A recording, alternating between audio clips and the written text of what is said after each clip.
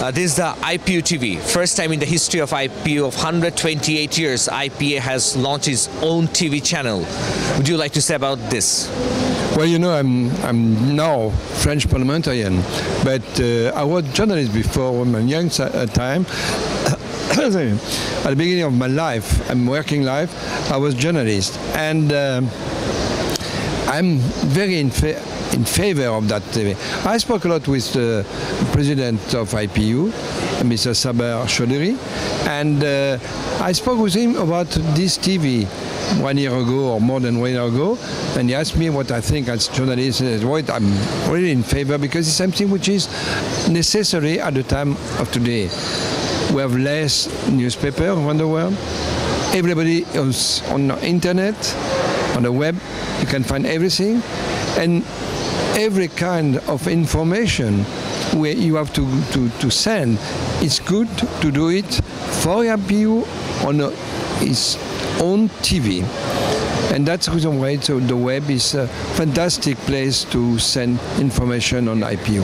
Uh, in this 136th assembly, you have come to know that many smaller countries uh, they're making queries, uh, some sort of complaint that the bigger nations are intervening in their national uh, policies. Why this is so, sir? I cannot ju- judge of the they are intervening in internal politics. we um, had a resolution here, um, discussed very um, difficult discussion on it because you have the problem of jurisdiction of uh, uh, the, what is legal, what is not really legal, what you can do in a country, what you cannot do. The international organization like UN exists. We have a resolution on the uh, council, and uh, those decisions are to be respected everywhere. And of course, each country is their own decision what they are supposed to do in their country. For example, if something happened in one country, the international community has to do something, but the country has to ask the United Nations to intervene. You cannot send people in a country to restore the peace if the country don't ask the UN. The country has to ask.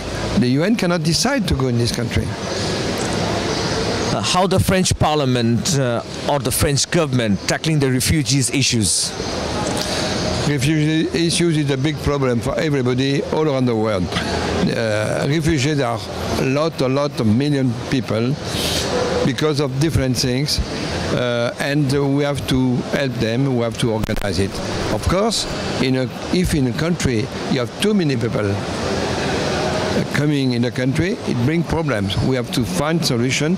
I think for Europe, European countries, uh, and my country, the decision must be European decision.